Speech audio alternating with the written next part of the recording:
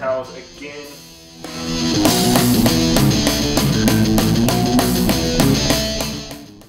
Chances are your sink is not disorganized. And about 45 minutes ago, mine wasn't disorganized. I'm going to show you a quick way to bring a little bit of order to the crazy random sinkhole that can be under your sink. I used a 1 by 8 by 6 foot piece of board I had lying around. If you don't have a board lying around, you can get a 1 by 6 by 8 foot from a big box store for about 7 bucks. I say 1 by 6 because you get the 1 by 8, they're to get into the 10 12 $14 range. And since there's not a big difference between 6 inches or 8 inches, I'm to let you save some money and just get a 1 by 6 Take a tape measure, measure the length of your board. Now my board I had was about 8 feet long, which is a common size that you get from a big box store. I turned out leg 16 inches long from the bottom of the cabinet to the underside of the shelf I was creating. Now you may want yours longer or shorter, it depends on what you want to store under there. For me, storing paper towels on top of it, 16 inches was perfect. Now I made the width of it about 2 feet long, I think mine might have been 22 inches. Measure your space, figure out what you want because there's no right or wrong dimension. If you make it a little shorter or taller, it doesn't matter, no one's ever going to see this. It's purely functional. So measure it out, you know, if you want 16 inch legs, mark out your 16, mark out another 16 for the other side, and then mark out the length of your shelf. Now use a speed square just to get right angles. This doesn't matter, even if it's a little wobbly, you're not going to notice. But I like to always observe best practice. So use a speed square, mark that straight line so you know exactly where to cut. Mark it your other leg. And using this, you'll cut at least a halfway decent line, even if your saw wavers, because you can use a jigsaw or a circular saw to cut this. Now, if you see this pencil and you're wondering what kind of pencil is that, it's not exactly a mechanical pencil. This is a lead pointer.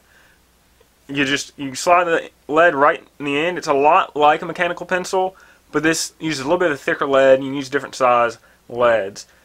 It's very nice because you don't ever have to sharpen it, and it's a little sturdier than a mechanical pencil because a mechanical pencil has lead that's pretty thin. This is a little bit thicker, so it doesn't break quite as easy. I've dropped this, and sometimes lead doesn't break. Now, half the time it does. It's a little thicker, so you don't have as much of an issue. I use a lead pointer all the time because it's very convenient. I'm going to use a circular saw to cut the board because it's just a little bit quicker than a jigsaw and it's going to give you a straighter line. Make sure you're not going to be cutting on top of your table. Now, you may want to clamp this to your table or you may want to weight it down. Make sure there's nothing underneath it because you don't want to saw through anything you don't want to saw through.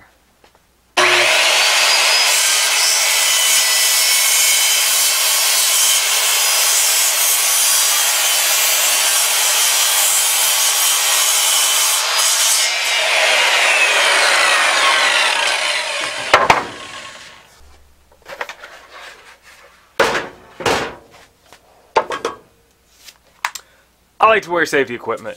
Full face shield is crucial when you're using a circular saw because chips, different things can fly right at you, and I don't want anything going in my eyes.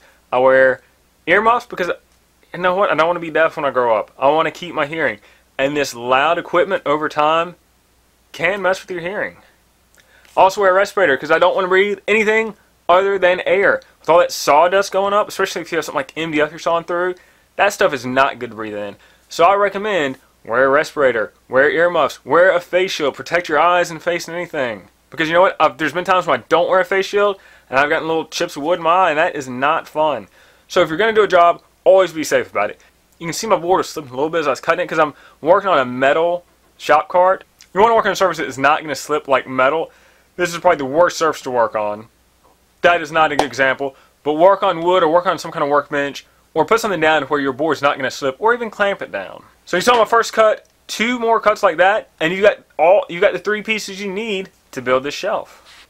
Now I'm going to screw the top of this side into a three quarter inch board. So I know I want to mark my center line, which is 3 eighths, and then just run a quick line. I mean, you can always make it up, just so you know about where your screws need to go. It doesn't matter if they're even, it doesn't matter where you put them, as long as they're in there. Two is going to be fine. Now you want to pre-drill these holes, and I'm using a 3 30 seconds drill bit because you want the hole to be snug into these screws so that these threads of the screw pull it tight. So 3 30 seconds is great. These are one and a quarter inch bugle head screws. So you mark that center line, you just want to go right through there.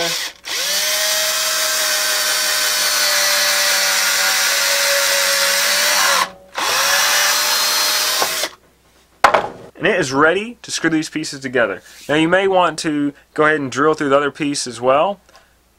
Now you can use some corner clamps or you can just hold it together and eyeball it. Maybe I turn this board up on its end and then just butt the other piece against a wall or something heavy and just drill through it just like that. It's best to pre-drill, that way you're not going to split your wood, especially if you're working with plywood. That is more likely to split going through the plies. Now if you're working with solid wood and you have some of that left over, that's less likely to split. But it's always good to just pre-drill your holes. And then you can just screw these things right into one or the other. I'm ready to screw the side of the shelf into the top of the shelf. Now with this configuration, the screw is what is basically holding this top shelf up. If you want a little stronger bond, you would put the shelf on top of the side and screw down into it. That way, this board is what's holding the shelf up. Again, it's in a lot of weight, so it doesn't really matter. You just take your cordless drill, screw that thing right in.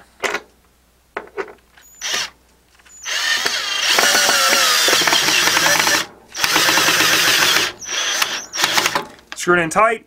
Your shelf is set. You do two screws on each side, so you're all set. You've already cut the boards. You've got your shelf together.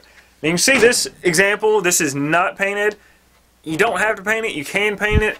Being under sink, just in case there's any moisture or water, it's nice to paint it so the wood will up, hold up a little bit better. So that is your shelf. You're all done. You can bring a little bit of order to under your sink.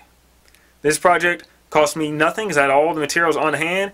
And even if you don't have any materials, a box of screws or nails is going to be up five or six bucks.